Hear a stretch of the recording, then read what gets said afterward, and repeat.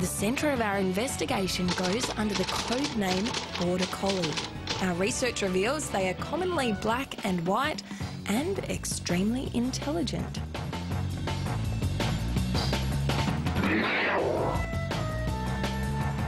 The Border Collie breed originated in the border counties between Scotland and England about 300 years ago.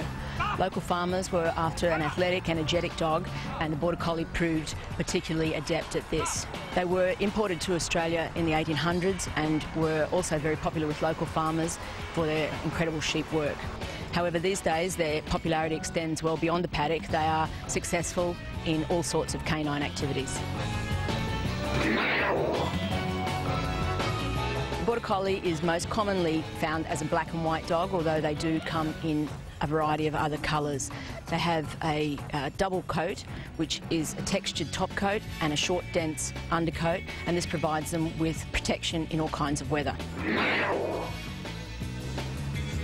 To keep a border's coat in good condition, you need to give it a good brushing at least once a week. This will help stop, prevent knots and mats forming in the longer sections of the coat. Like all breeds of dogs, they require good quality food and should also be regularly given bones and chew sticks to keep their teeth clean. These dogs were bred to work and therefore they are extremely energetic and require regular daily exercise. But more important than the physical aspect is the mental exercise.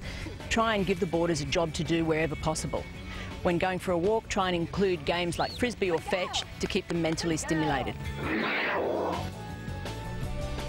Border Collie is one of the most intelligent breeds of dogs. They're very eager to learn and they respond well to training. They're also very social and they require lots of attention from their owners. Even a dog that receives regular daily exercise will develop behavioural problems if left alone on its own all day. Remember, Border Collies, like all pets, should be part of the family. Border Collies are not the breed for everyone. However, if you have an active lifestyle and you're looking for a dog to be involved in all sorts of family activities, then you won't find a better breed. They're friendly, affectionate, and provided you can give them regular daily exercise and include them in your family, they'll be a loyal family member for many years.